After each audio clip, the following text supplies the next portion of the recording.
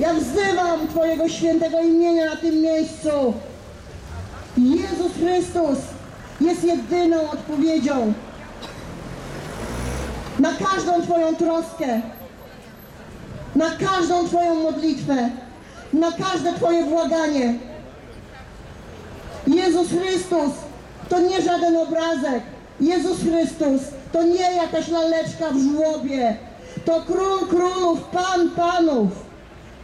Przyjaciele, nazywam się Basia Rosłaniec. Wychowałam się w tym mieście, w Pruszkowie. I jestem tutaj, żeby wam powiedzieć, że ja osobiście spotkałam Jezusa Chrystusa. Może ci się wydaje to bardzo dziwne. Może ci się wydaje, że zwariowałam, ale nie zwariowałam. To przywilej, największy przywilej w życiu człowieka, żeby spotkać się osobiście, serce do serca, z żywym Bogiem, z Jezusem Chrystusem. I jestem tutaj dla Ciebie, dla Ciebie człowieku. Jestem tutaj dla Ciebie, żeby Ci powiedzieć Ewangelię, Ewangelię od nowa. Może przyzwyczaiłeś się do religii, może przyzwyczaiłeś się do słów o Bogu, może nasłuchałeś się o Jezusiku, się o Jezusie, może się nasłuchałeś tego. Ale ja jestem tutaj po to, żebyś nie cierpiał, żebyś nie poszedł do piekła.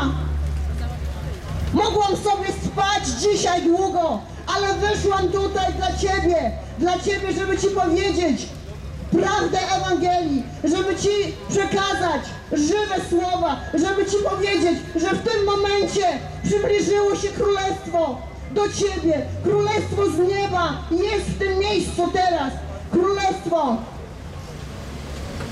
i spotkanie z żywym Bogiem może zmienić Twoje życie. To jest totalna rewolucja. Kiedy spotkasz się z Bogiem, serce do serca, Twoje życie się zmienia radykalnie. Zmienia się tak bardzo, że jesteś kompletnie uzdrowiony.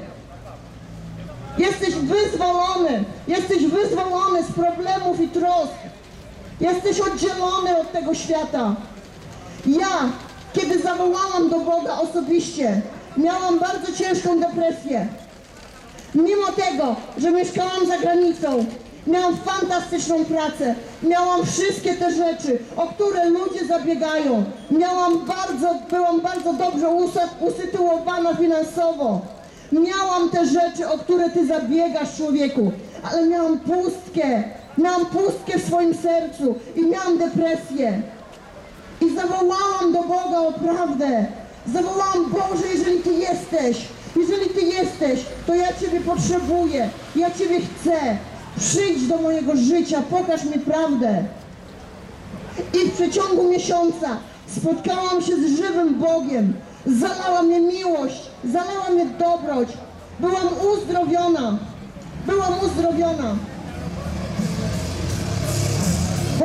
Myślisz, słyszałam takie opinie tutaj, że masz swoją religię, że masz swoje, swoje poglądy. Ale to są twoje poglądy, tak, masz rację. To jest jakaś tam formułka religijna. Boga spotyka się swoim sercem, swoim umysłem. Ja nie mówię ci swoich słów, nie mówię ci swojej formułki. Ja ci mówię słowa Jezusa Chrystusa samego Jezusa Chrystusa. I jeżeli Chrystus w ogóle dla Ciebie coś znaczy, człowieku, to posłuchasz mnie teraz, bo Jezus powiedział, że jeżeli nie narodzisz się na nowo, nie ujrzysz Królestwa Niebieskiego. A Bóg chce Cię uratować. Bóg chce Ciebie osobiście uratować. Bóg nie chce, żebyś poszedł do piekła. Bóg nie chce, żebyś cierpiał. Bóg nie chce, żebyś cierpiał tu na ziemi. Bo Ewangelia to jest zwycięstwo Boga nad szatanem.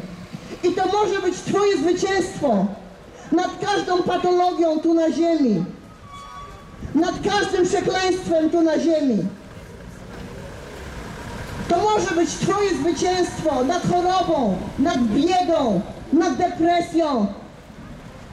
Bo imię Boga jest większe, jest mocniejsze niż cokolwiek, jakakolwiek troska tutaj na ziemi. Mnie twoja religia nie obchodzi, to nie chodzi o religię. Religia to jest ludzka formułka. Ewangelia jest prosta. Ewangelia mówi, jeżeli uwierzysz w swoim sercu i wyznasz swoimi słowami, będziesz ocalony. Będziesz ocalony. Więc mam pytanie, bo uwierzenie w swoim sercu to nie jest klękanie, robienie jakichś znaków krzyża. To nie o to chodzi. Uwierzenie to jest realne skierowanie swojego serca, swojego umysłu na Boga. Zawołanie Go. To jest szczere zapłakanie. To jest szczera pokuta. Taka pokuta, że klękasz i płaczesz nad swoim życiem, nad swoimi grzechami. Wyznajesz je do Boga. Wyznajesz je szczerze do Boga. A potem wyznajesz, że Jezus Chrystus, że Jezus Chrystus to jest Twój Pan, Twój Król, Twój Zbawiciel, Zbawiciel świata też, Baranek Boży też, co gładzi grzechy świata. Ale jeżeli Ty sam nie zwrócisz swojego serca, swojego życia, to ten baranek nie zgładzi Twoich grz- grzechów. I żadne chodzenie do kościoła, żadne formułki Ci nie pomogą. Wiesz o czym mówię. Bo to nie, ja nie mówię o religii. Nie obchodzi mnie Twoja religia. Chodzi mi o to, żebyś szczerze w swoim sercu skierował się naprawdę.